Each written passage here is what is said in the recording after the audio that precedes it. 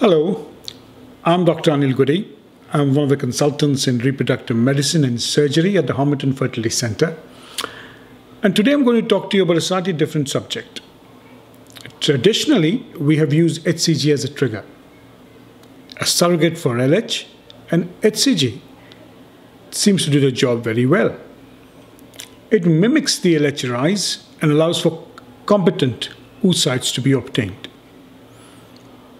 It does not prevent an rise from occurring spontaneously too. Now, let's look at a different scenario altogether.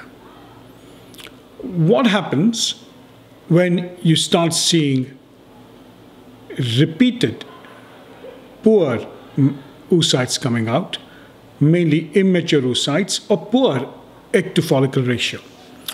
And when you have a look at this paper, which looked at using a combined agonist and an HCG trigger, and to see whether it would improve the history of poor fertilization, which basically means will it give a better fertilization to women who in the past have had poor fertilization. This is a retrospective study. Patients with fertilization of less than 20% in at least two prior IVF cycles were used. With more than five oocytes, less than 40 years old, an FSH of less than 12 and normal parameters. They underwent another cycle. HCG was given in one arm of 10,000 units uh, to 318 patients, which accounted for 74.5%. GnRH analog trigger with HCG trigger of 4 milligram of GnRH analog and HCG of 10,000 given 34 to 35 hours prior. And this was divided. 25% of these patients had and a combined trigger. What did this show? If you look at it, the metaphase 2 sites slightly increased. The percentage of metaphase 2 sites rose from 68% to 82%. the fertilized implantation rate rose from 10% to 18.1%. The clinical pregnancy rate rose from 5.67% to 25.5%. And the live birth rate also took a significant rise from 3.4% to 20%. Now, what happens with an analog trigger?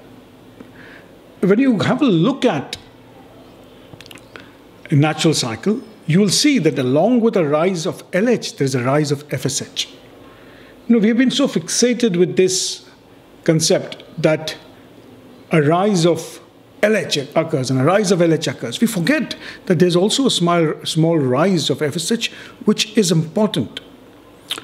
To a large number of patients, I don't think it matters whether you give HCG or not, whether there's a rise of FSH occurs or not, we also don't know whether a spontaneous rise of FSH and LH occur.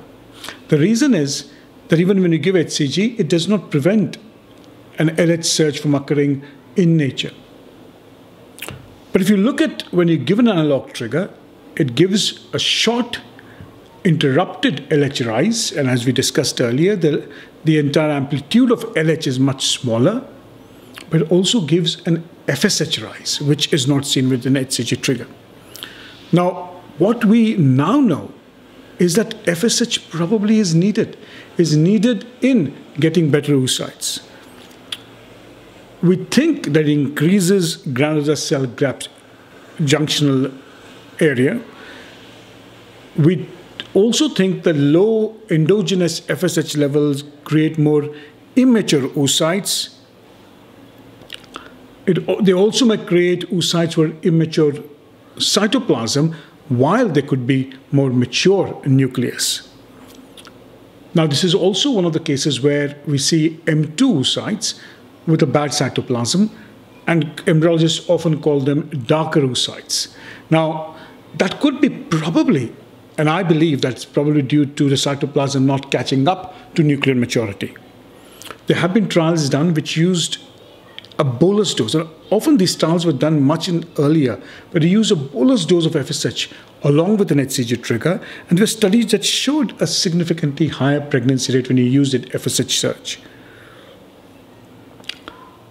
A higher FSH has been probably known during a surge has been known to provide more mature oocytes, more 2PN embryos, and there seems to be a very much uh, a biochemical change that occurs due to the FSH.